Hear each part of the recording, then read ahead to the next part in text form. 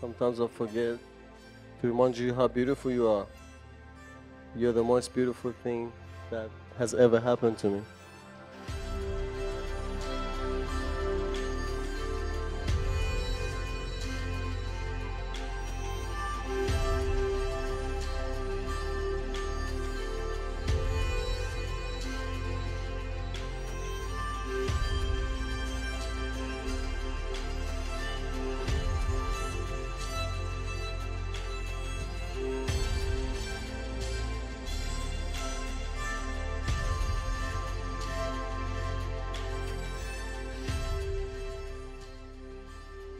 You're the most amazing, most loyal man in the world.